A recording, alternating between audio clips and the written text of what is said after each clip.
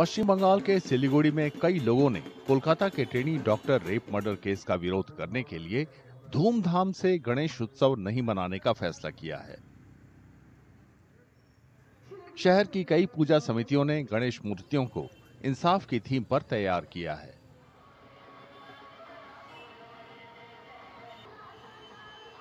आप देख रहे हैं कि जिस तरह से आरजीगढ़ में घटना घटी, एक डॉक्टर महिला को का साथ में जो अपराध हुआ अपराध होना तो एक बात है लेकिन उस तरह उसको जिस तरह से सरकारी तंत्र के द्वारा उसे छुपाने का बचाने का जो प्रयास किया गया वो भी एक जघन्य कृत्य है।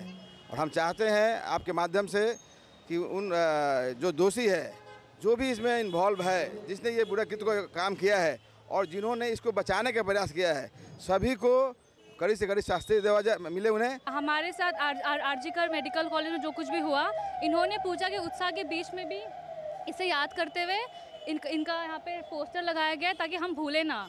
पूजा के उत्साह में हम ये चीज़ ना भूलें कि हम किस कारण से यहाँ सब इकट्ठे हुए हैं जस्टिस के लिए। ये पूजा के साथ साथ यहाँ के औरतों के लिए भी उन्होंने बहुत कुछ कर, ये बहुत कुछ कर रहे हैं। तो ये देख के मुझे बहुत अच्छा लगा। एक समिति ने विरोध के तौर पर बप्पा की मूर्ति को काले कपड़े पहनाए हैं। हाल फ़िलहाल में वेस्ट बंगाल पे जो आर्यकर का घटना हो गया उसके बाद उन्नाव है हाथरस है दिल्ली है मुंबई है गुजरात है कितना नाम बोले?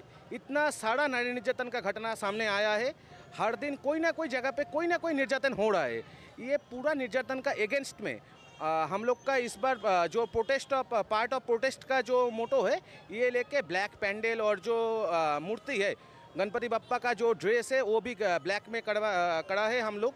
देश के ज़्यादातर हिस्सों में धूमधाम से गणेश उत्सव का आगाज़ हो चुका है।